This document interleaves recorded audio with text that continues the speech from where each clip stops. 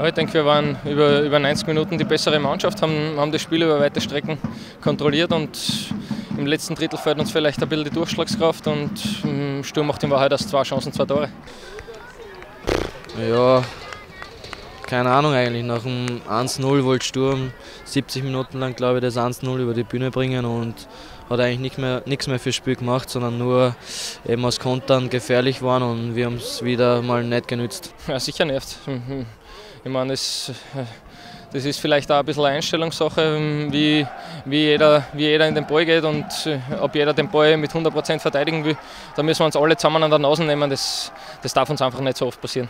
Ja, aber mitnehmen kannst du nach einem 2-0 zu Hause gar nichts eigentlich. Ähm, du kannst genau das Spiel analysieren und bearbeiten oder keine Ahnung und dann ja, in einer Woche geht es eh schon wieder weiter und irgendwann müssen wir auf den Scheiß raus. Ja.